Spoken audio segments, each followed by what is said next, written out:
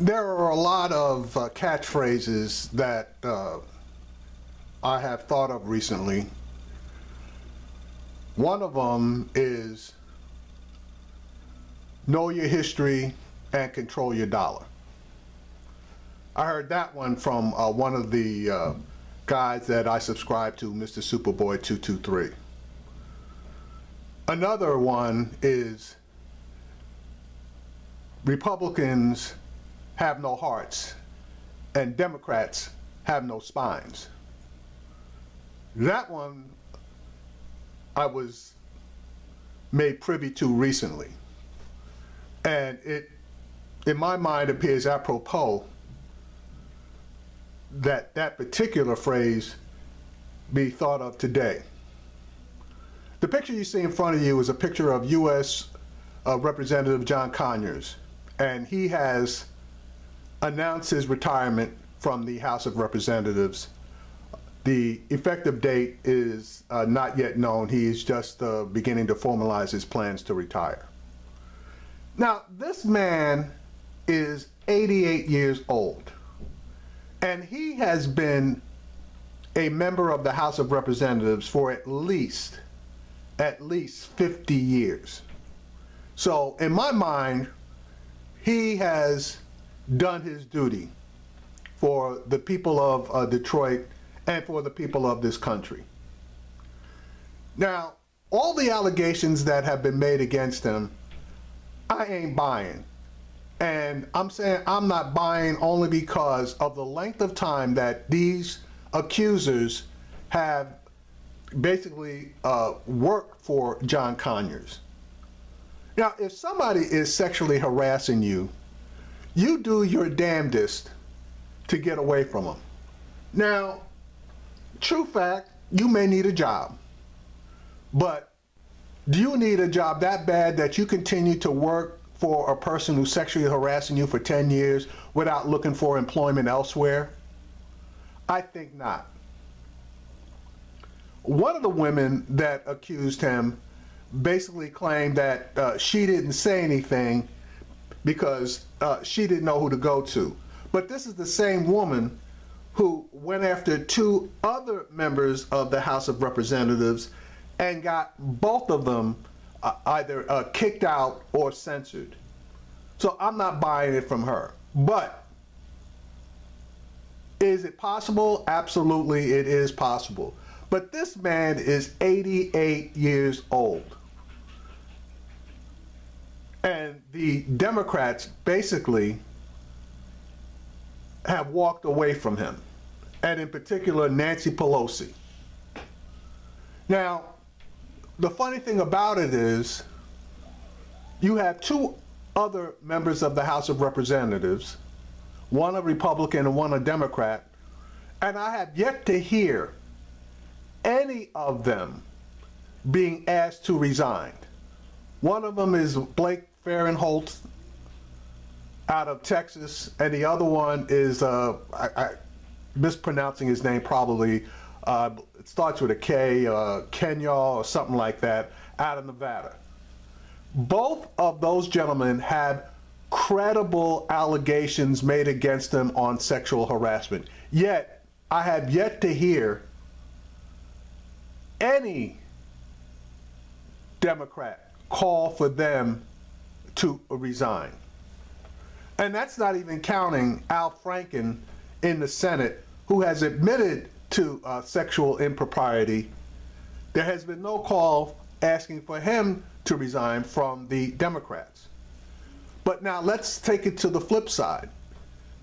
None of the Republicans have called for Farenthold to uh, resign, and they are now getting in the corner of Judge Roy Moore, who is a pedophile. Let's just call it the way it is.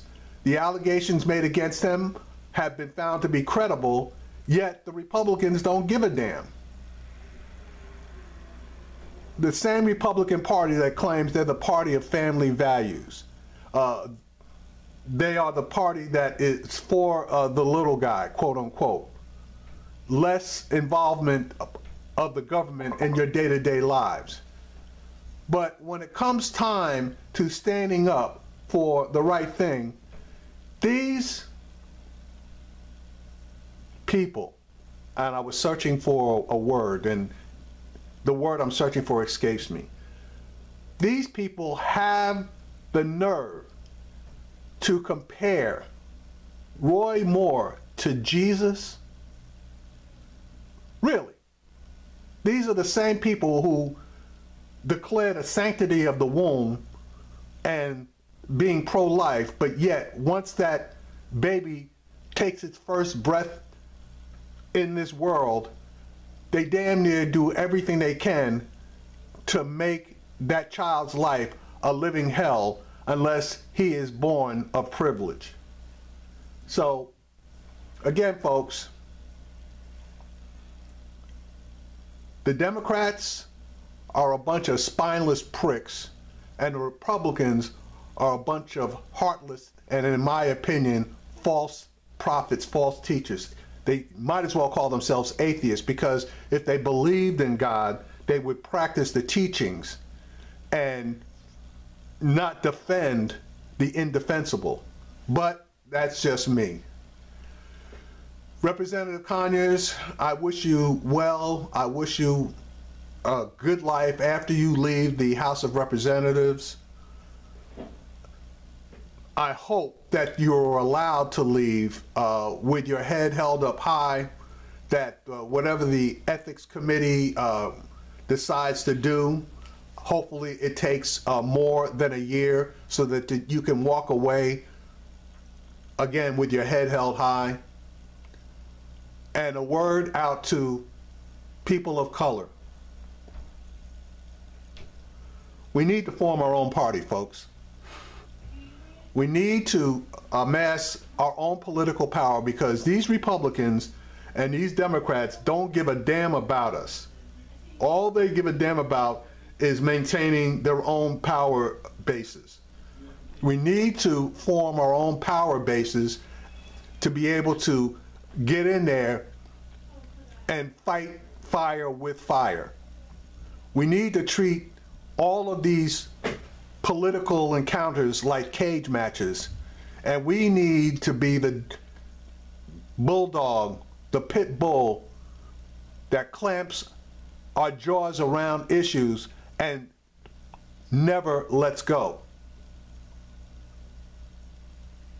It's going to be a minute before people of color form the absolute majority of the people in this nation and people who are not quote unquote of color are fighting tooth and nail with every trick in the book, both clean and dirty, to try to hang on to power as long as they can. I've referenced you to all of the voting right laws that are coming into place to restrict voting. I reference you to gerrymandering of districts to allow uh, various and I'll say it, white people to remain in power. I reference you to the coming 2020 census, which is being run by a person who has no business on earth uh, being in charge of a census. So that just leads me to believe that uh, those census numbers are going to be rigged. Folks, wake up. Do whatever you got to do to get out there to vote, to get people into office into positions that can actually help us and not work against us.